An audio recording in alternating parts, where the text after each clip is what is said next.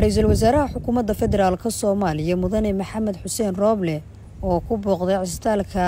erdogan ee magaalada muqdisho dhaawacyadii howlwadanadii ka shaqeynayay dhismaha waddada isku xirta muqdisho iyo afgooye ee argagixisadu qaraxa la beegsadeen ayaa tilmaamay siday uga go-an tahay shacabka soomaaliyeed iyo dowladoodaba inay dhistaan dalkooda ayna ka xoreystaan argagixisada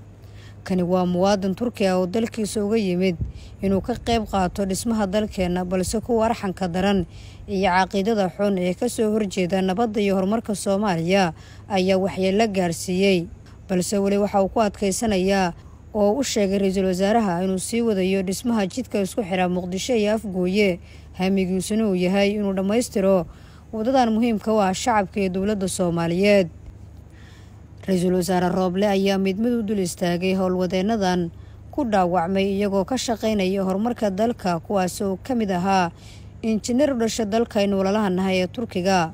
Isagoo uga mahad celiyey dowladda iyo shacabka turkiga sida ay ugu dhiiran yihiin garab istaagga walalahooda soomaaliyeed. Oo cadowga argagixisada ah ay u bartilmaameysadeen dadaalada dib u dhiska ah ee ay ka wadaan dalkeenna. Argagixisadu waxay ka soo horjeedaan nabadda iyo howl kasta